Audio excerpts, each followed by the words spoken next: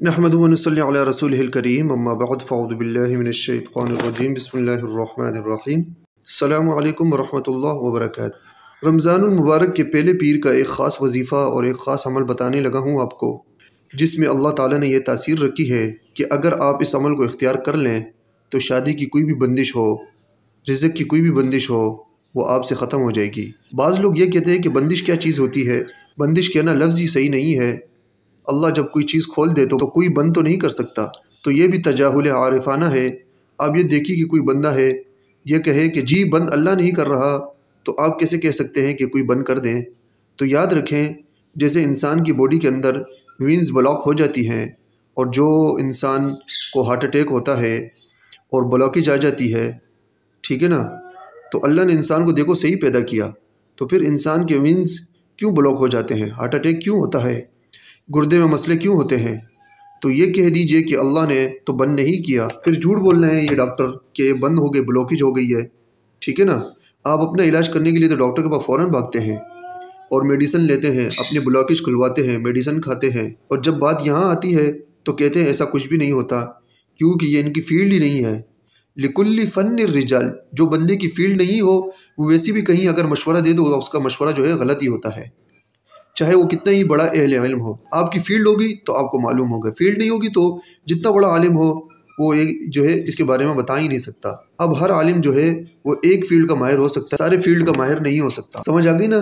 तो देखें, याद रखें, जिस तरह बहुत सारी चीज़ें कुरान हदीस से साबित हैं, इसी तरह अमलियात भी जो है कुरान सुन्नत से साबित हैं।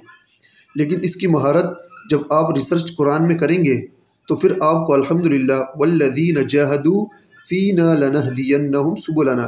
अल्लाह आप पे खोल देते हैं ये रास्ते। इसलिए बंदिश जो है, ये लफ्ज़ जो है, जकड़ लेना मफलूज कर देना जादू के ज़रिए। जैसे नबी करीम सल्लल्लाहु अलैहि वसल्लम पर जादू हुआ, मुस्लिम शरीफ की रिवायत में मौजूद है तो आप सलाम के दिमाग को जकड़ लिया था। बंद इसको कर देना कहते हैं। अब बंदिश आप पे नज़र बद की भी हो सकती है, जादू की भी हो सकती है। अब जिन्नात की भी हो सकती है। अब ये माहिर समझ सकता है। आजकल ये जो लोग हैं ना, माहिर तो नहीं है, अक्सर वैसे ही झूठ बोल देते हैं। और इन्होंने बदनाम किया हुआ है अमलियात की फ़ील्ड को। समझ आ गई ना? खुद सीखा नहीं है, ना अपनी रिसर्च कुरान सुन्नत से की है, ना अपने इस से तरबियत ली, ना अपने बड़ों से ताल्लुक़ रखा। फिर ये लोग जो है गुमराह करते हैं। याद रखें अल्लाह वालों से, दीन वालों से अपने बड़ों से नस्बत कायम करके रखें। फिर आप लोगों का इलाज भी करें और कुरान सुन्नत से चीज़ लें। तो अल्लाह ताला आपको फ़ायदा भी देगा। अब बंदिश आप पे रिज़क की है, बंदिश अगर आप पे शादी की है तो आप इस बंदिश के ख़ात्मे के लिए बड़ा मुख्तसर से ये अमल कर लें। तो आपने करना यह है कि इन इससे जो है आपको अल्लाह तबारक व ताली आपसे बंदिश तमाम की तमाम ख़त्म कर देगा। जो भी बंदिश है, रुकावट है, माल की कमी है, या आपके ऊपर रिश्ते की बात चल रही है और रिश्ता नहीं हो रहा। समझ आ गई ना? आपकी एज ज़्यादा हो गई है या मनपसंद रिश्ता नहीं मिलता या मनपसंद करना चाहते हैं, हो नहीं पाता।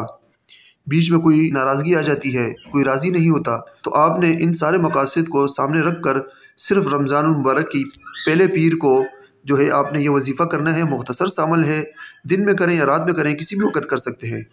जब आपको यकसुई हो, सहूलत हो, आप बैठ जाएँ और ये मुख्तसर शामिल आपने पढ़ना है। आपने दुआ करनी है, लेकिन पढ़ना जितनी देर है, इससे कम अज़ कम आधा तो दुआ करें ना आप। ठीक है ना? आप वजीफ़ा कर रहे हैं, दस मिनट में हो रहा है, पंद्रह मिनट में हो रहा है, सात मिनट या पाँच मिनट आप दुआ तो लाजमी करें। अल्लाह से मांगे, अल्लाह मांगने वालों को अता करता है। अल्लाह क्या कहते हैं? उदरूनी अस्तजीब लकुम, मुझसे मांगो, मैं तुम्हें दूँगा। तो अल्लाह पाक आपको देगा। तो वजीफ़े में तासीर ज़्यादा आ जाएगी। समझ आ गई? तो आपने क्या करना है? ये आयत करीमा, ये छोटा सा हिस्सा पढ़ना है। इन अल्लाकुल्लिशन कदीर। इन अल्लाकुल्लिशन कदीर। एक सौ ग्यारह मरतबा पढ़ कर दुआ करनी है। ठीक है? किसी भी वक्त करें, लेकिन पीर के दिन किसी भी वक्त। चौबीस घंटों में से किसी भी वक्त कर ले, रात के वक्त कर ले, ज़्यादा अच्छा है। अल्लाह पाक राज़ी हो जाता है, रात को तहजद के वक्त कर ले। ठीक है ना? वैसे भी हर बंदा उठता है शेरी के लिए तो ये अमल का लाजमी कर ले। देखिए इन अल्लाह कदीर, अल्लाह हर चीज़ पर कादिर है। अल्लाह आपकी बंदिशें भी तोड़ेगा। अल्लाह आपके रिज़क के मसाइल भी हल करेगा। अल्लाह आपकी परेशानियाँ भी दूर करेगा। अल्लाह आपसे मसाइब भी दूर करेगा। अल्लाह आपको खुशियाँ अता करेगा। अल्लाह से तो मांगे तो सही, अल्लाह के बंदे। और ये नक्श जो आप अपने मोबाइल की स्क्रीन पर देख रहे हैं, इस नक्श को आप इस्तेमाल करें। ठीक है ना? इक्कीस अदद नक्श लिखें। एक नक्श जो है गले में पहन लें, रोज़ाना एक नक्श जो है पानी में डालकर एक बोतल पानी की बना लें, पीते रहें, ठीक है ना? अफ्तारी की से लेकर शहरी तक जब भी आपको मौका मिले, पानी यही पीते रहें, बाद में भी आप इस्तेमाल कर सकते हैं, लेकिन ये नक्श आपने जो है, एक अदद नक्श कम अज़ कम आपने जो है पीर को बना लें, गले में पहन लें, और बाकी जो है, बाद में भी बना सकते हैं आप, ईद के बाद बना लें या अभी बनाना चाहें, अभी भी बना सकते हैं, और ये वजीफ़ा और एक नक्श जो है, एक अदद नक्श पीर के दिन ही आपने बनाकर इस्तेमाल करना है। इसी पीर को इन आपको बहुत फ़ायदा होगा। आखिर दावाना अनिलहमदिल्ला